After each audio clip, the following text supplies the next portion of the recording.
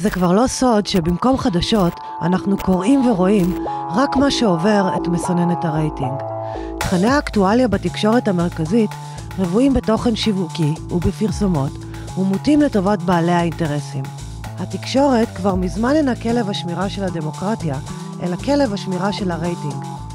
בנקודה זו אנחנו נכנסנו לתמונה, וכבר לפני מספר שנים הצענו טלוויזיה עצמאית ואיכותית באינטרנט, הטלוויזיה החברתית. טלוויזיה שיש בה ייצוג הולם לנשים ולגברים, סוגיות חברתיות בניגוד לשיח מיליטריסטי שמבוסס על הפחדה, ובמה לאזרחים מקבוצות שונות בחברה, ולא לפרשנים שיפרשו אותם.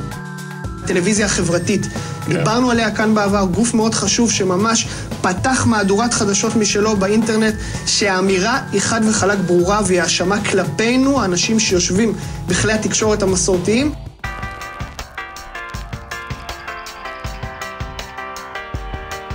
מאחורינו 1,500 כתבות וידאו ומהדורות אולפן, ואיתנו עשרות אלפי צרכני תקשורת נאמנים, שצופים בנו מדי שבוע באתר האינטרנט, בפייסבוק, ביוטיוב או בשידור המחזורי בטלוויזיה.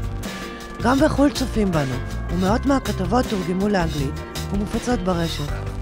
זה האתר שלנו. כל כתבה משויכת לערוץ, לרשימת נושאים ומכילה תגיות. התכנים מחולקים לסדרות, ויש מערכת חיפוש מתקדמת. בכל הכתבות יש כתוביות כדי להנגישן לכבדי שמיעה, לצד תמלול מלא. מצידנו כבר הוכחנו שאנו מקצועיים, ביקורתיים, נשכניים, וגם בעלי יכולת שרידות ויציבות. כל זאת מבלי לשלב תוכן שיווקי, ומבלי שתהיה לנו באתר ולו פרסומת אחת.